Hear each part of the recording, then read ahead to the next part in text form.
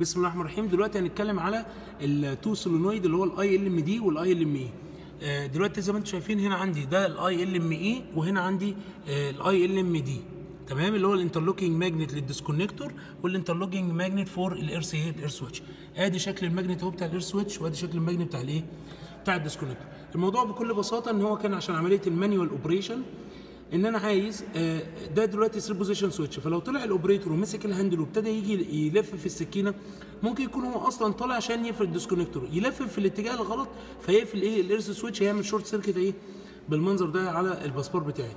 وبالتالي عشان أمنع الخطأ ال human error بتاعي ده أثناء عمليات التشغيل فغصبت عليه إن هو الأول لازم يكون هيختار وضع معين لعملية التشغيل ال manually. يا إما هيلف في اتجاه ال disconnector يا إما هيلف في اتجاه الإيه؟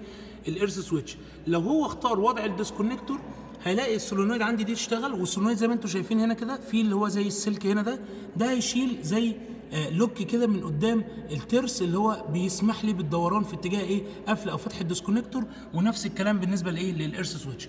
بس مش مجرد ما هو اختار earth switch أو disconnector خلاص الدوم ال- ال solenoid ده يشتغل ويبعد ال- الايه زي ال lock بتاعه من قدام الموتور كده وخلاص والموتور يقدر أو إن أنا أقدر ألف في اتجاه براحتي لأ.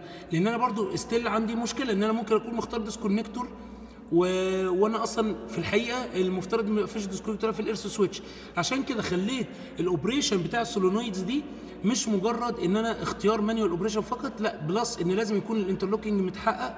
يبقى أنا دلوقتي لو ال interlock عندي متحقق plus إن أنا اخترت وضع DS أو ES plus إن ال door switch ده آه، يكون مفتوح. يعني لازم يكون الباب عندي ده مفتوح. لأن هنا كده فتحه الباب في عندي دايما ثلاثة limit switch اللي هو واحد بيبقى خاص بيه ال shorting اللي بيحصل على الموتور عشان يعمل fast stopping للموتور وفي limit switch اللي هو بيقطع سكة ال electrical وفي limit switch اللي هو بيوصل سكة الإيه؟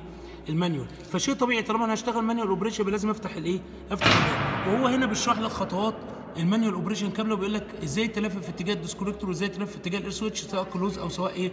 عملية open تمام كده؟ فأنا دلوقتي فعلا فاتح الباب وال interlock عندي متحقق فاضل حاجة واحدة إن أنا أختار manual operation لل DS أو ES لو أنا اخترت مثلا manual operation لل DS أدي أهو بالظبط ال solenoid عندي اشتغل وشد الايه شد السلكه ال- اللي هو ال- ال- ال wire اللي هو ال metal wire ده وبالتالي فتح السكه قدام الترس إن أنا أقدر ألف في اتجاه مين؟ ال disconnector. وأدي نفس الكلام بالنسبة لإيه؟ لل earth switch هناك طبعا الاثنين ال interlock بتاعهم متحقق. ليه؟ لأن أنا already عندي ال feeder بتاعي. أنا فاتح فيه كل السكاكين وكل الإيه؟ الأراضي. آه لكن لو أنا مثلا say أدي قفلت الباب أهو تاني. و say مثلا كنت قافل ال disconnector.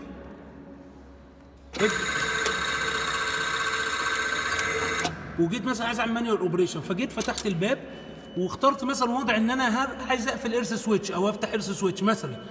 هاجي اختار الاقي الدجمه بتاعته ما حص... أو ال solenoid بتاعه ما اشتغلش وبالتالي ال lock بتاعه ماله ما اتشالش. لكن ينفع أشغل بس مين؟ ال solenoid بتاعة ال disconnector. لكن بتاعت ال earth switch ما استجابتش معايا. ليه ال disconnector؟ لأن هو ال interlock بتاعه متحقق وهو already مقفول فأقدر إيه؟ أفتحه. تمام؟ دي كده الإيه؟ الموضوع بكل بساطة.